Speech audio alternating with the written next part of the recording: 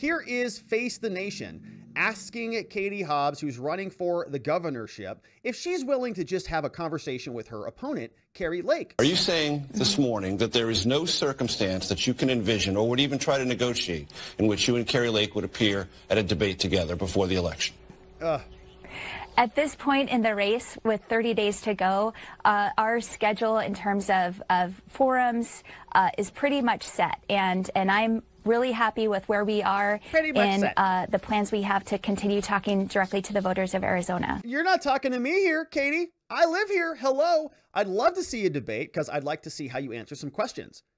But her schedule is pretty much set. So they're all set here in Arizona. No debates from the Democrats because they don't care about Arizonans or anybody else. Nobody wants to debate any of the ideas. They'd rather just sit in their bunkers and let the voters or something take it over for them.